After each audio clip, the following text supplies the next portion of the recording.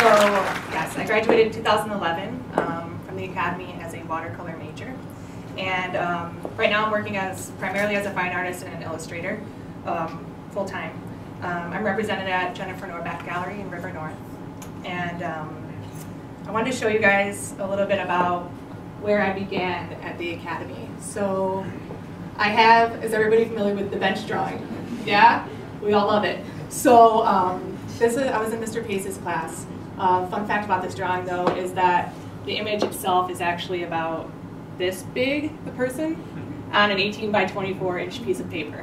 So um, that makes me look a lot better than I was at the time because it looks like it was full, but it in fact was very, very small. Um, so my first day of class, I go walking the academy and I'm super intimidated by all these artists that are there. And I'm, of course, looking at everybody's drawing, wondering who's better than I am, um, comparing myself to everybody else in the classroom, and I was really terrified. Um, but shortly after that, I realized that the best skill possible isn't how great I can draw something, but my self-motivation.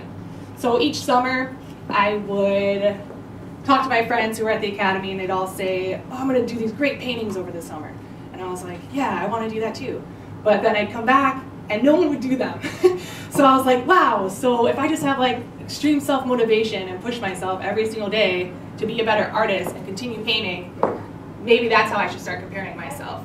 So that was the most important skill that I learned at the academy was um, not really to compare myself artistically, but more about my self-motivation. Um, the summer of junior year, while I was going into senior year, I started my duality series that um, is made with paper on acetate with watercolor. Um, these are large images, 57 by 44.5. All the images are at the bottom. Um, they were mostly isolated figures on um, backgrounds with not a lot of space. Um, I wasn't really thinking about space at the time. Um, I'll show you guys a few of them. So I was really into process and the um, putting together the materials of acetate and paper, and I would tape them at the sides. You can see them in some of the images, like the bottom right corner a little bit. But um, seeing how paint takes to plastic and then seeing how paint was taking to paper, um, I was really interested in just watching my um, paint do its thing really on the surface. But I didn't really know exactly why I was doing it, but um, I tried really hard to figure it out. Um, so I started interning at Jennifer Norback Gallery when I was a senior in um, senior at the academy. So, um, oh, Mr. Kennedy, you know this piece well, don't you? Yeah. tar, tar and gasoline, uh, tar and gasoline that Mr. Kennedy kept in the studio for a while that dripped a lot, never dried. Um, so Jennifer gave me a show in 2002 I mean 2012, with um, my friend Jordan Gullett. I think a lot of you probably know Jordan. He went to the academy, um, and he's been he spoke here before. So while my this is my summer and my year after I graduated from the academy, I started doing um, works on paper. Um, I took the acetate off because people thought that I was too scared to like do my expressive marks, so I was putting acetate on to do it. And I was like, no, that's not it at all. Like, it's not that I'm scared. So I started um, being more expressive on top of my figures itself and taking sandpaper and creating more texture. Um, ripping my paper, these are all like, this is all like knife, like I took a knife and just like tear at the paper in every which way I thought possible that I could. Um, my concept was still primarily like a heavy subject matter or a darker subject matter because at the time I felt like if my concept was dark and heavy, then the paintings would be more serious. So I was thinking that about dark and heavy subject matter like spirituality and um, religion and death and all these things because I felt at the time when I was younger that if they were about these serious things that might they would be taken seriously. So here's some more images. Um, this is just teared right through the center. Um, then I started working um, charcoal on mylar. So I went, I took, got rid of my paint, and I started sanding charcoal into dust and then adding water to my charcoal and painting with it. And I did some of these images. These are all on Mylar, so a type of plastic. If anybody worked on Mylar? It's like kind of um, foggy, it's not completely clear. This large piece on Mylar.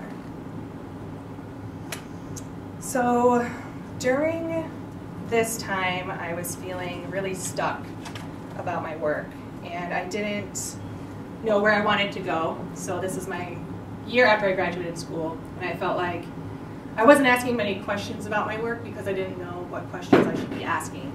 So I didn't really understand all that a painting and a picture could be.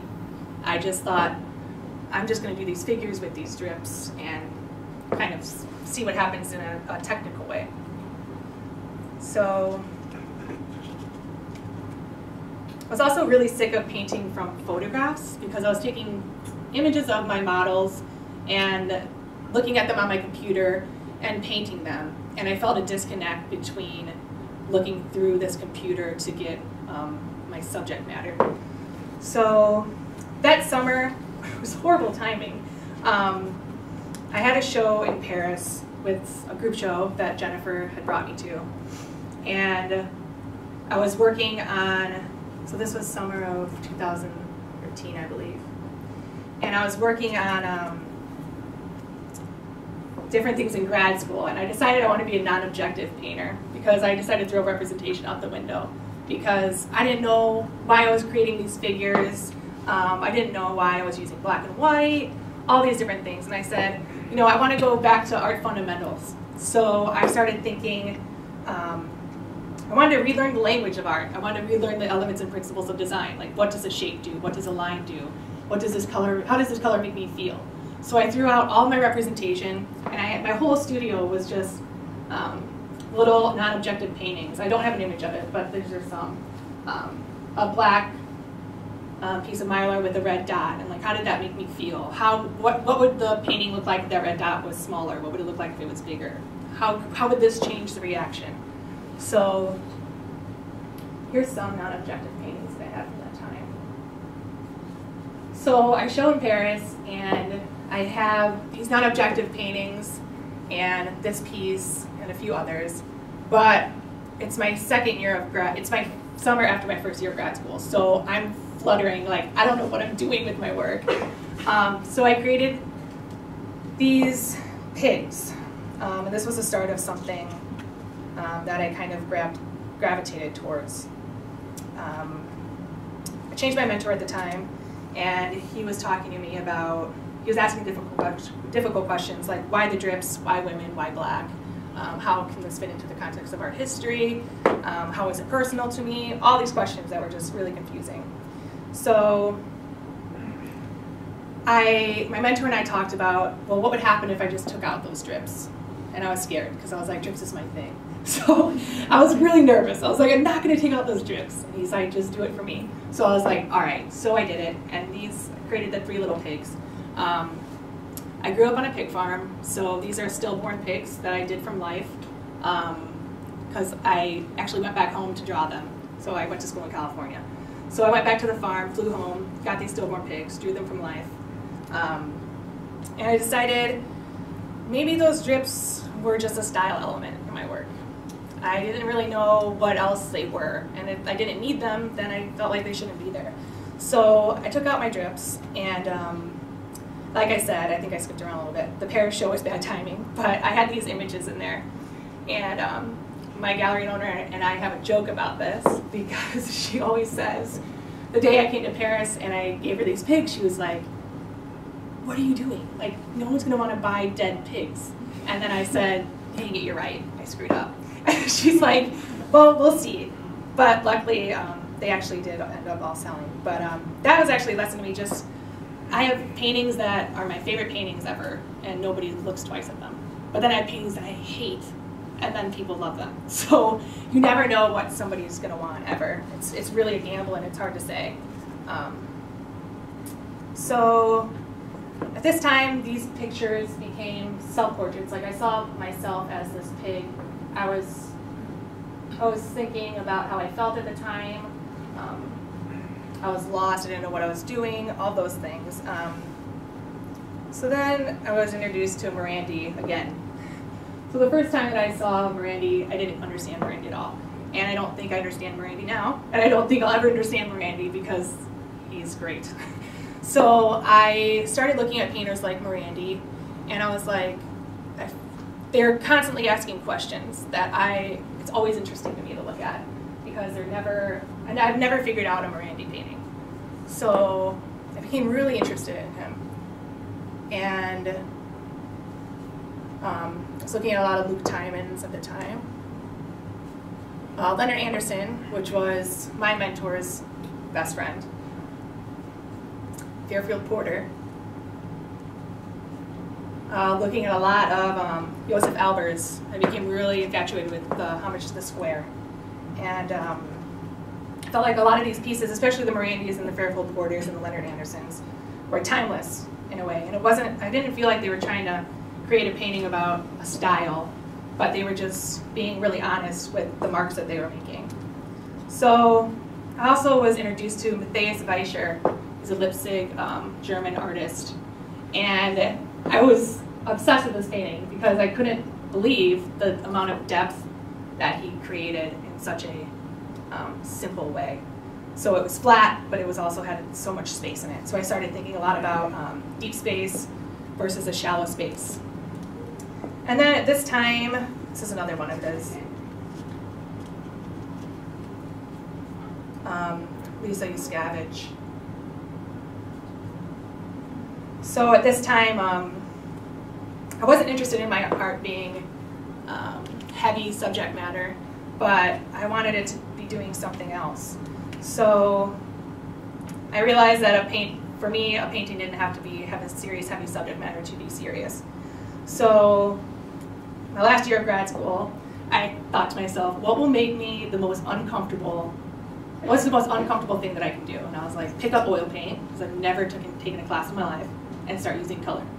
So crazy enough, I don't know why I actually did it, but um, I felt like I needed to.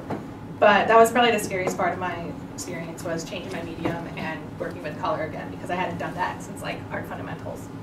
Um, and I became really sensitive to nuances and um, subtlety, things that I'd overlooked in the past. And I started doing these boxes. Um, and I was just interested in the way that the light was falling on these boxes and things that I, that in the past I hadn't, I didn't think was serious enough um, or heavy enough to create a painting about. But now I'm paying attention to these nuances I'm like, I just want to paint this light on a box. So I started doing these. And this was my first time I touched oil paint, so um, they're not very good. but um, try to take out an explicit narrative um, these are some of the box paintings. I was looking at a lot of Wayne Thiebaud, um, changing my shadows, the color of my shadows, making them really blue. And then I was just trying to make these shadows characters in themselves. So this is the box, and these shadows are um, um, they're cast from the box, but I wanted to make them just as important as the box itself. and I was experimenting with adding line around um, shadows to make them flatter, to see what, what, what, what a line would do to, to that shadow. I didn't know, so I had to figure it out. So I would just do a lot of different um, box paintings. And then the pigs came back. so I decided to explore that a little bit more again. And this is the start of my series called Love Poems. Um, I started making still lifes out of fragile materials like um, chicken wire, plaster, um, miniature lights, um, clay, wood, wire.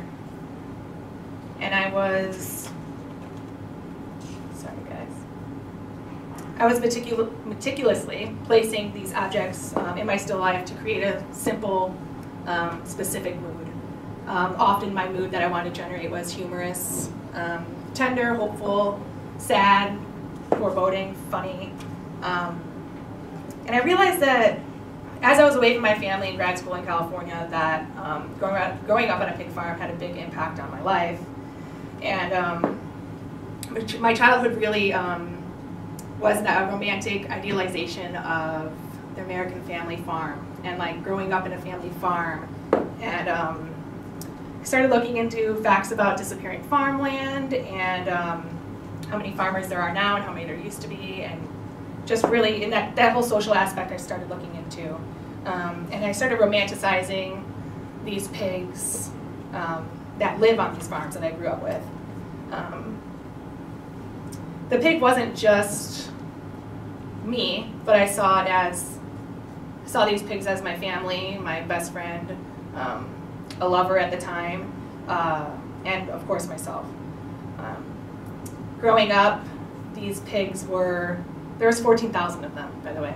So I was around pigs more than I was more than I was people as a child, and um, they were like friends that I, I would play with them a lot. They were like friends that I wanted to save, but at the same time, I knew that their death resulted in my family's sustainability.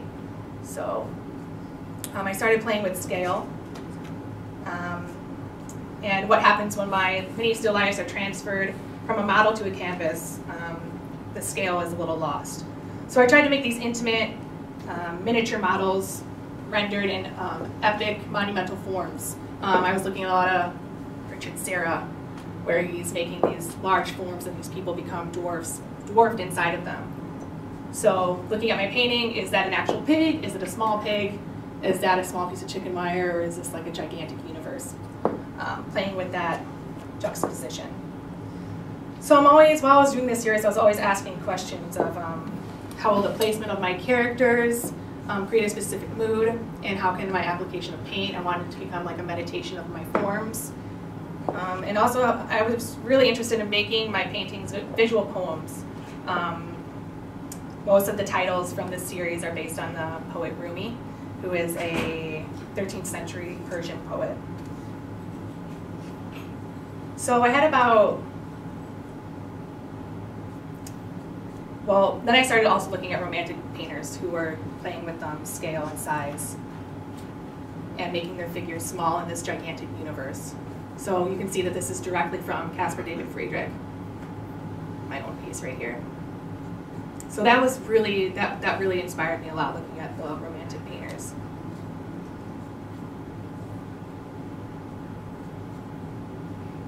Tiny pigs in all the world.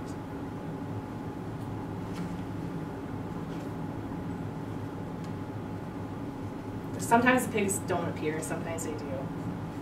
Um, playing with a deep space and interrupting it with a flat form, which I'm doing a lot more of now.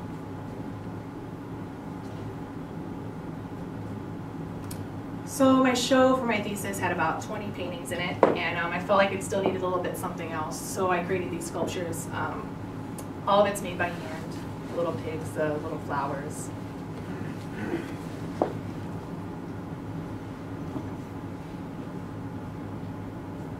Some of them light up with like an on-off switch at the bottom.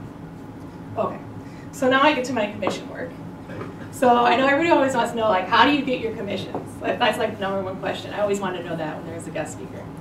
So I'm annoying, and I talk to everyone that I can about being an artist.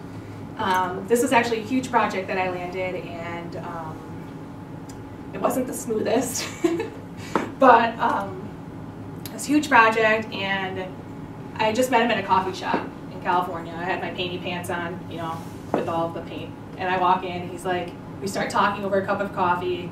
He asked me if I was an artist. I said, yeah. And he brought up that he wanted to do a children's book. So I kept on him about it for about six months, and um, eventually the contract was signed.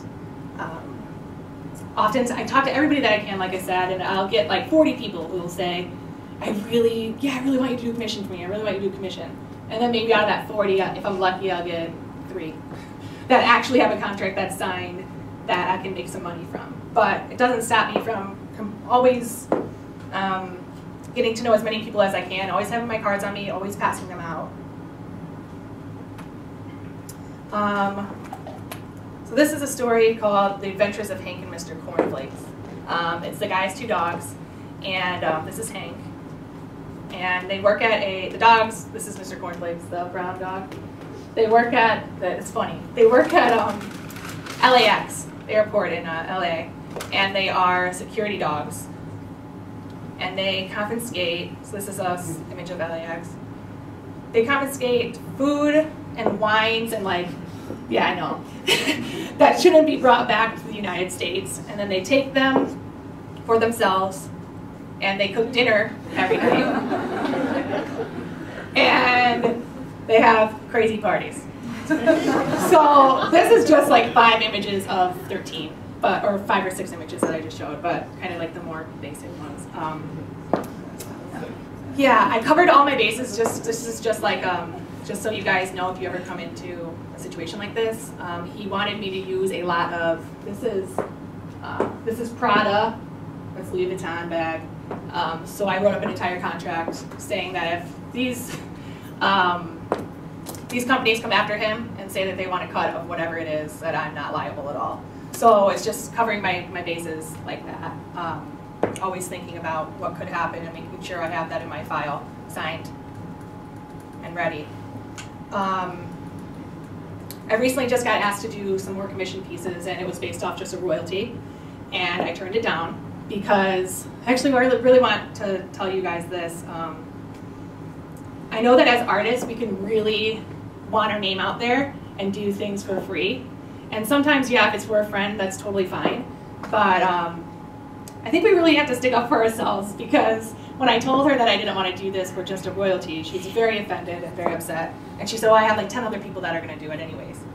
And I'm sure she does, but just like a cop or a um, lawyer wouldn't work for free, um, something that's based off royalty really is imaginary money. And um, I think it's important that we always have a contract and um, a set 50% or whatever you want to do upfront that's signed um, and not based off of just a, just a royalty. Um, I just don't think it's a good idea. Because um, we are professional and we should always be treated like one and not be taken advantage of as an artist. This is my thesis show. I just wanted to show you guys a little image of it. My sculptures are mounted to the wall in little shelves, and the frames are all um, handmade.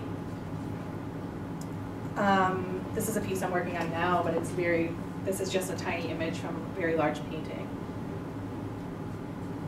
Some more non-objective pieces that I've been working on as well. So I'm working on two really large commissions right now, but um, like I said, I know everybody always wants to know like how'd you get the commissions, but it really is just networking constantly all the time um, it's a full-time job in itself. But I think that that's it. So if there's any questions at all, you guys can definitely let me know.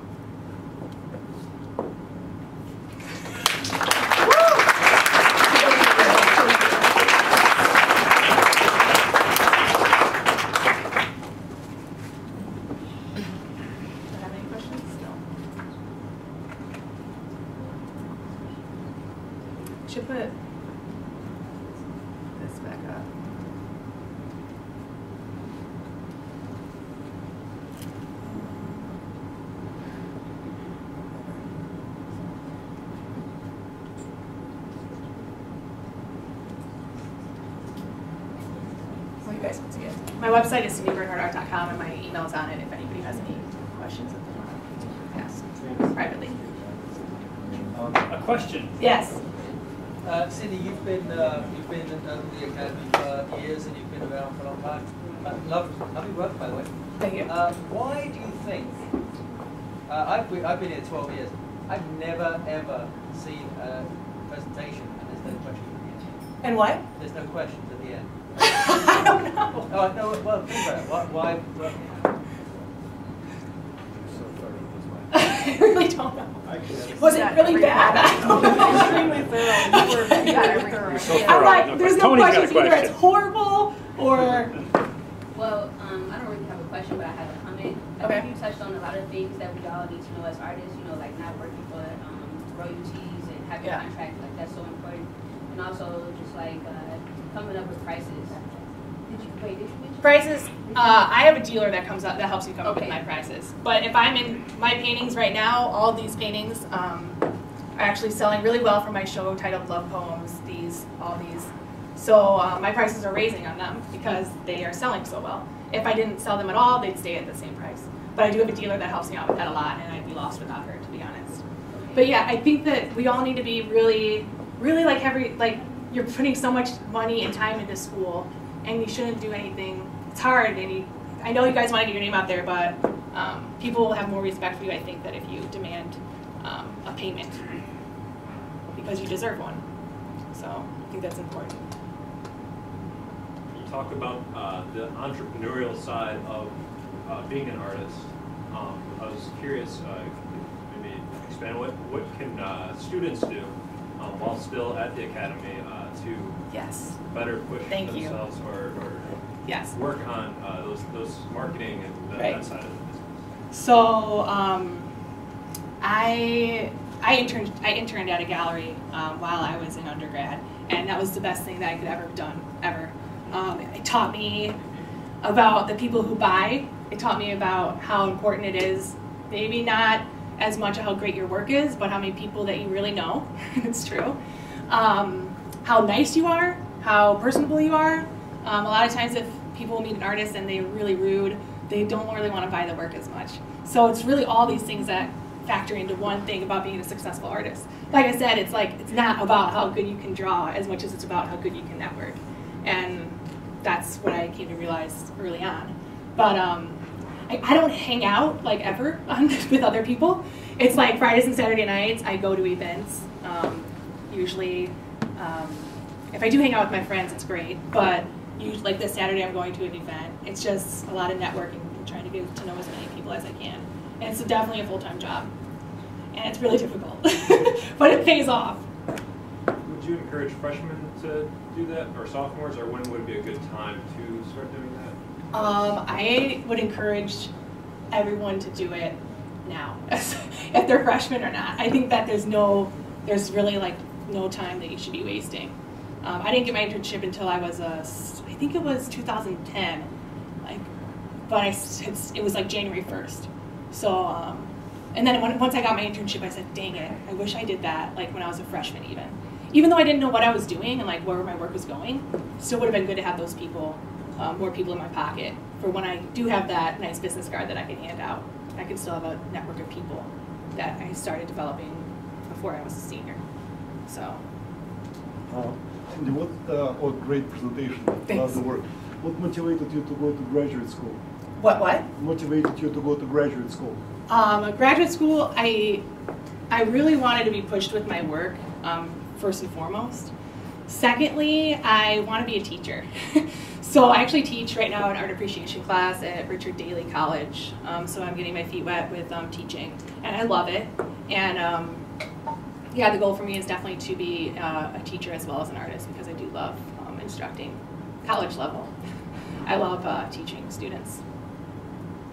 Yeah. How did you go about getting your internship? Um, was it like paid or unpaid? Um, internship, people ask me that, yeah. Um, I wouldn't, I think that the best thing about an internship, I actually just talked to my dealer about this the other day. I was like, man, always, people always want to know if an internship is paid or unpaid, and I totally understand. But the amount of um, experience that you gain through an internship, if you're doing it correctly, is I, invaluable. I would take that over a million dollars, to be completely honest, because I learned so much from it. Because I pushed and like I really tried to understand um, how the business works, and it really is invaluable if you can get one. And um, yeah, it's way better than money. yeah. Couple of questions. Yeah. Um, could you just uh, talk a little about, because I, I love it that you included uh, some of the things you've been looking at, including poetry and other painters. Can you talk about the importance of looking not sideways for style, but maybe back in history and elsewhere Yeah. for inspiration? Yeah, I was looking um, at the academy, and no one's fault but my own. I was looking at a lot of um, painters that I thought had great style. Like I was looking at Kent Williams a lot, and um, I was looking at like Pamela Wilson, all these people of, of why I went to California in the first place.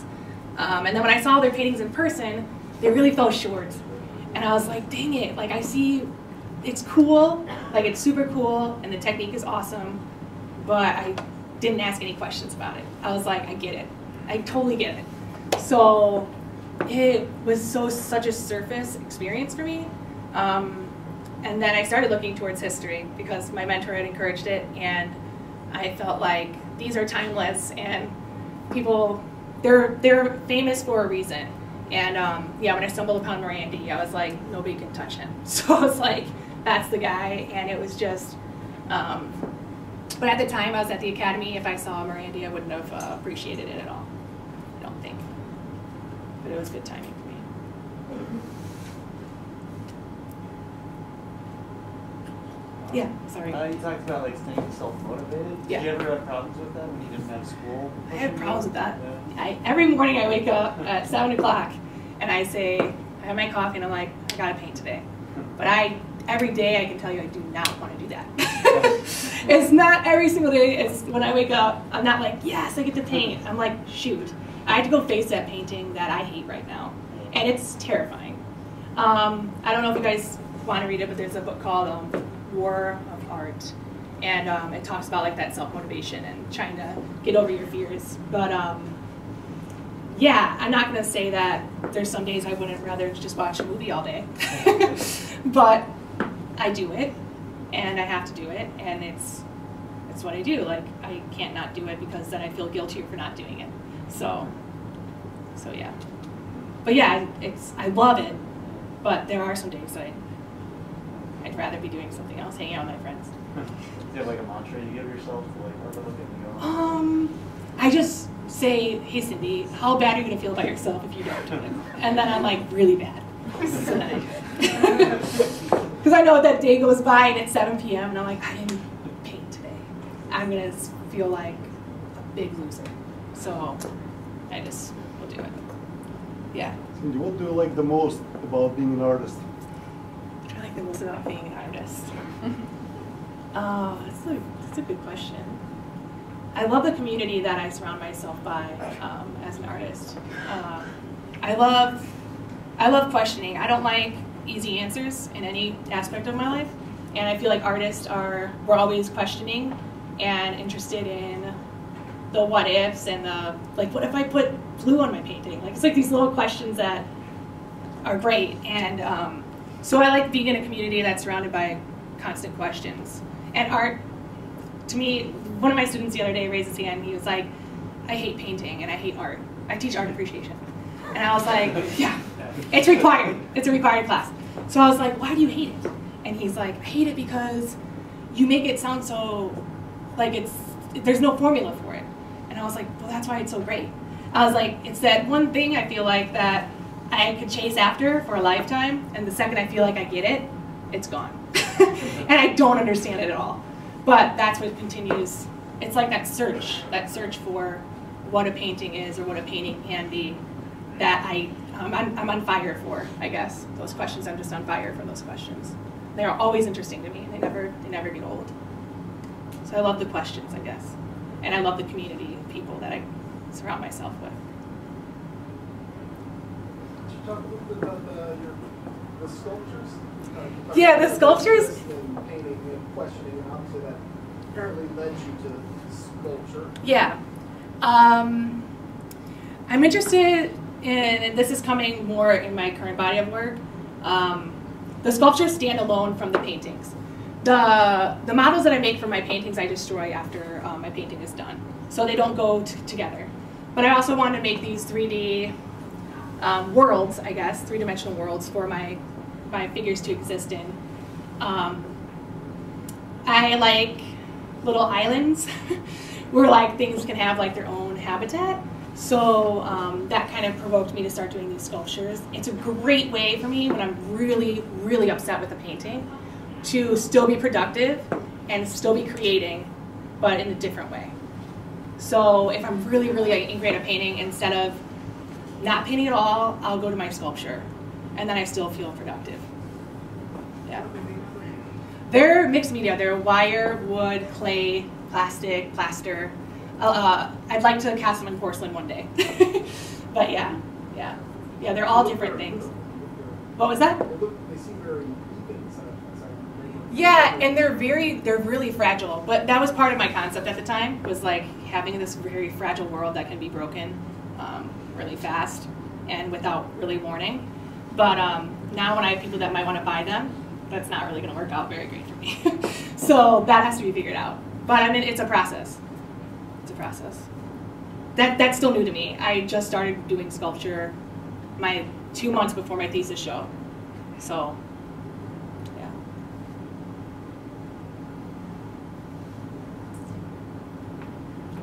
Good? yeah. Good. Yeah. Alright. Do you believe in law of attraction? Do I believe in the law of attraction? Yes. Do you know what that means? I know what it means, but in what context? Um, just like, uh, All right, last question. just like uh, with your art and um, like you say, you like to go to a lot of networking events and um, you like to talk to people and connect. And, uh, Uh huh. So, just like I guess I would, I'm trying to say, like, uh, do you do you believe that um, you can bring reputation to yourself going to these events? Like, if you meet this, say for instance, like you you go to an event, and you're like, I think I'm gonna meet somebody tonight and probably sell some work. Like, do you think that's the best attitude to have with everything? I never have that attitude. Okay. I never have the attitude that I'll meet somebody that will buy my paintings. Okay. Ever. Um, I just work really hard to try to get to build my network, but I never assume that they will buy ever because I will always be let down. Not always, but often because I'm meeting lots and lots of people. Like I said, for 40 people that I meet, maybe three will take me up on that offer, but maybe all 40 will say that they will. Yeah. But not all 40 will actually sign that paper for me and give me that check. So I will. I never assume that somebody will do it, ever. But I know that if I have 100, I'm more likely to get somebody to do it than if I have three. Right. Like, yeah. I guess that's what I mean. Like, Yeah. you know, your attitude about everything. Yeah. Is- But I never assume. I'm always grateful when something happens, and I never assume that something will sell. Yeah. Does that answer your question? Is that okay? Um, Did that yeah, answer that's fine. I just wanted to like see like Yeah. your attitude about those things. Yeah, yeah, because, Um, I feel like we can overthink things, and Mhm. just wanted to see like how Yeah. you how you feel about it. Yeah. As long as that answers your question, I'm happy. Good. yeah. Thanks everybody so much. Cindy.